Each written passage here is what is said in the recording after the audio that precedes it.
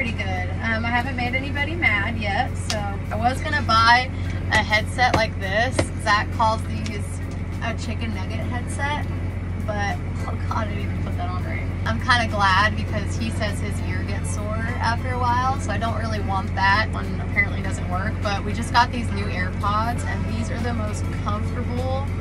Like you need these. These are awesome. Got a whole cooler full of snacks, a harvest bag. Know that a lot of girls don't watch me, but this is the smartest thing to do. Pack yourself a bag that you can bring with you on harvest so that you have all your favorite snacks, you have tissues, you have everything that you